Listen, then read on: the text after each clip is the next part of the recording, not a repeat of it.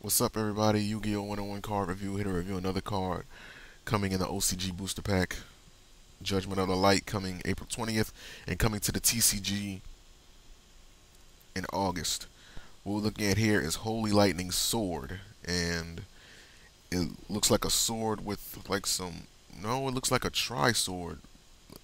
Like, and it has like a sword for a body, and it has swords for wings.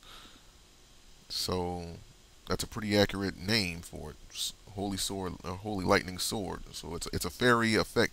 It's a light fairy effect monster, level four, attack 1400, defense 1000. Description: Once per turn, you can send one Holy Lightning monster from your hand to the graveyard. This card's gain attack equal to the attack of that monster until the end phase. So this gains attack power by using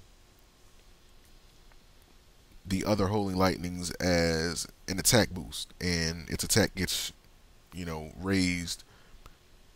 I mean, you know, like, and it gains attack, you know, equal to the monster that was sent.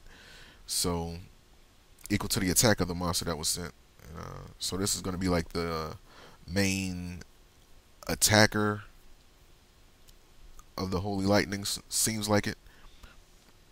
Um, you know, because it is level 4, so it's fairly easy to get on the field. You know, like all you got to do is just normal summon it. And, yeah, like this guy seems to be like the main attacker of the archetype so far.